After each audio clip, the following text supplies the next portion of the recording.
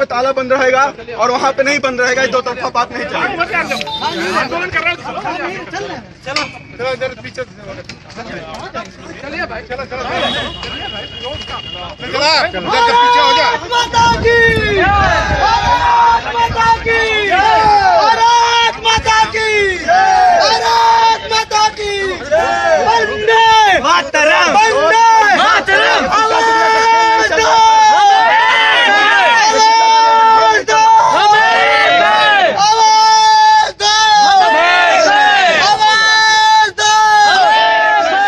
कृपया हमारे चैनल को सब्सक्राइब कीजिए।